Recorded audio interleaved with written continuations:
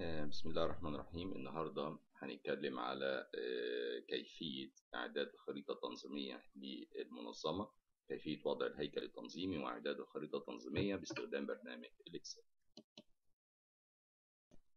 آه، قبل ما نعد الخريطة التنظيمية للمنظمة إحنا عارفين الخريطة التنظيمية هي عبارة عن شكل بيوضح تقسيم العمل داخل التنظيم وتوزيع الأدوار والمسؤوليات. في مجموعة من الخطوات بتمر بيها إعداد الخريطة أو بنسميها خطوات بناء التنظيم بتشمل دراسة إمكانيات أول خطوة دراسة إمكانيات المنشأة قبل البدء في وضع هيكل تنظيمي. لابد من دراسة إمكانيات المنظمة وبتشمل طبعا الإمكانيات المالية والبشرية والتكنولوجية. لازم نعمل دراسة وافية لهذه الإمكانيات عشان نمد الشركة بالمعلومات الأساسية اللي بيتبنى عليها التنظيم. بعد كده بنقوم بعملية تحديد الأهداف حيث تعد دراسة الأهداف المتاحة أو وضع الأهداف في المنظمة سواء كانت أهداف تتعلق بالمنتجات أو السوق أو المستهلكين من الخطوات الأساسية في وضع الخريطة التنظيمية. الخطوة الثالثة بنحدد خطوات تنفيذ خطوات تنفيذ هذه الأهداف بنحط في ضوء الأهداف المحددة بيتم تحديد الخطوات اللازمة للتنفيذ مع وضع الإطار الزمني المناسب لكل خطوة وإجراءات وطرق العمل اللازمة. بعد كده بنحدد الأنشطة الرئيسية وفي هذه المرحلة يتم تحديد الأنشطة الرئيسية اللازمة لعملية التنفيذ سواء كانت هذه الأنشطة مالية أو إنتاجية أو تسويقية أو تتعلق بالموارد البشرية داخل التنظيم. بعد كده بنجمع الأنشطة المتشابهة يتم تجميعها في شكل مجموعات من الأنشطة المتشابهة بتكون في شكل أقسام وإدارات وقطاعات ثم بنعين الأفراد المناسبين لهذه الوظائف وفقا لاحتياجات هذه الوظائف.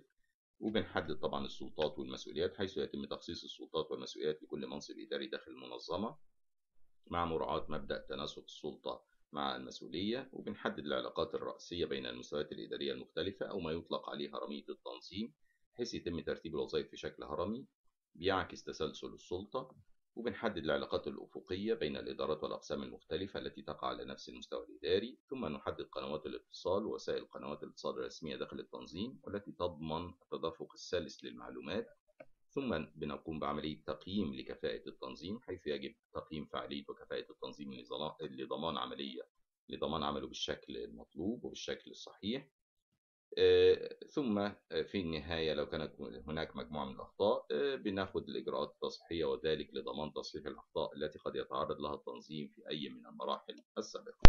طبعا إحنا ممكن نستخدم برنامج الإكسل لرسم خريطة تنظيمية للمشروع بتوضح التسلسل الهرمي للسلطة وقنوات الاتصال الرسمية بين أفراد المشروع. بيقدم هذا المخطط الهيكلي ممكن نعمله برنامج الإكسل حيث إن إحنا عندنا أحد الاختيارات الموجودة في البرنامج اختيار SmartArts موجود في نسخ مايكروسوفت القديمة وحتى النسخ الجديدة موجود عليها نفس الاختيار حيث تمكن SmartArt من إنشاء مخطط هيكلي وتضمينه في ورقة العمل ال spreadsheet اللي موجودة برنامج ال Excel. من شريط ribbon في Microsoft Excel بنخش على بندخل على SmartArt في SmartArt بنختار الاختيار الخاص بالهيراركي منه بنختار Organizational Chart. بنختار منه OK. ستظهر في الحالة دي خريطة تنظيمية افتراضية فارغة. بنحط المناصب بنضع المناصب والأدوار الإدارية داخل كل مربع وذلك بالوقوف على المربع الذي يمثل موقع التنظيم وإضافة النص المعبر عن المنصب المطلوب. ثم من ضمن أدوات سمارت آرت بننقر فوق السهم الموجود ضمن إضافة شكل لإدراك شكل في نفس المستوى ويليه. بننقر على إضافة الشكل بعد لإدراك شكل في نفس المستوى مثل الشكل المحدد ولكن قبله. بننقر على إضافة الشكل قبل لإدراك شكل في نفس المستوى مثل الشكل المحدد أعلاه اللي موجودة قدامنا دلوقتي في الخريطة. بننقر على إضافة الشكل أعلاه ويمكن تعديل أي بيانات داخل الشكل أو إضافة مناصب جديدة في التنظيم أو حذف بعض المناصب بكل سهولة من خلال برنامج Microsoft